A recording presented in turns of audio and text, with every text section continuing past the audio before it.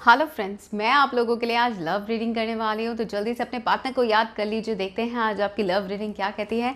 इस हफ़्ते आपकी लव लव रीडिंग कैसे होने वाली है, ये मैं आज आपको बताने वाली हूँ। अभी लव में बहुत सारी दिक्कतें आ रही हैं, बहुत सारी परेशानियाँ आ रही हैं।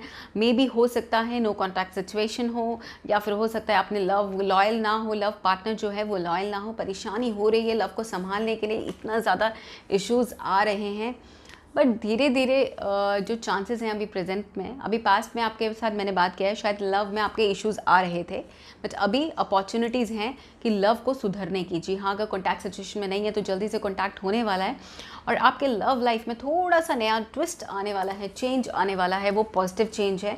नेक्स्ट हम बात करते हैं थर्ड कार्ड फ्यूचर में आकर आपका कार्ड बहुत ही प्यारा कार्ड है लवर कार्ड है डिवाइन ब्लेसिंग्स आपको मिलने वाली है, आपका पार्टनर आपका साथ देने वाला है, और अगर अभी तक साथ नहीं मिल रहा था कमिटमेंट नहीं मिल रहा था तो कमिटमेंट भी मिलने वाला है।